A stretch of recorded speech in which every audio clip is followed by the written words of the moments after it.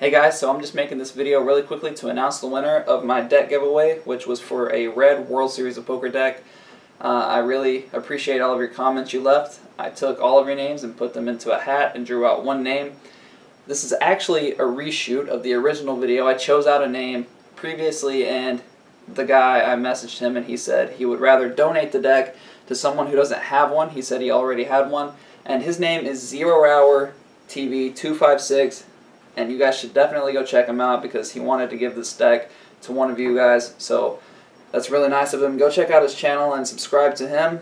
Uh, but I re-chose a name, and the next winner for the Red World Series of Poker deck is Card Control 52. So again, thank you all for entering. If you didn't win, there's going to be plenty of more giveaways. Uh, so yeah, I, I will have a new video for you guys tomorrow. So come back and check that out.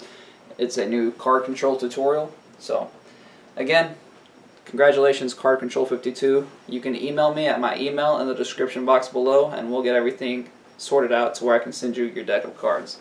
But yeah, thank you all for watching and I will see you in the next video.